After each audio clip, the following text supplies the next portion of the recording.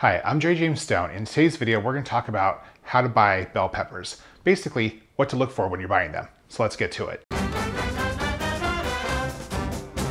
So the thing that's really important with bell peppers, the first thing that you really want to look for is you want to like kind of give it a nice little squeeze. it's hard to not laugh during that, but you want to give it a nice little squeeze to make sure it's firm, right? You don't want it to fall under the pressure, even if it's just a little pressure, because that's what's telling you whether or not it's actually rotten inside or moldy or over ripen and you don't want it. So that's the first thing to do is just take your palm, just kind of squeeze and see if that bell pepper pushes back.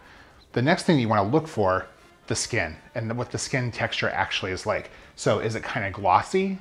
Does it have a nice smooth finish? If there's any sort of wrinkling around the pepper, that also means it's overripe. So you probably don't want that pepper.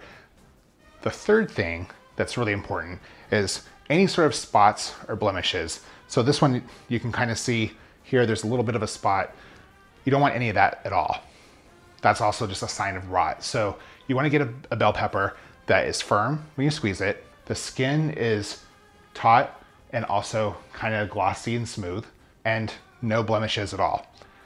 And I have to like kind of bust this one little myth too, because um, I've read on many food blogs that people think that the bumps on the bottom of the bell pepper actually relate to how the bell pepper tastes. And it actually means nothing whatsoever. People are saying, you know, if it has three, that means it's male. If it has four, that means it's female and the female ones taste better.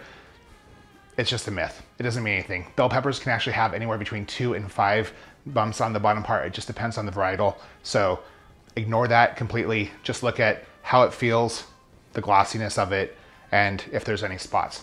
And you'll have a tasty bell pepper every single time. See you guys next time.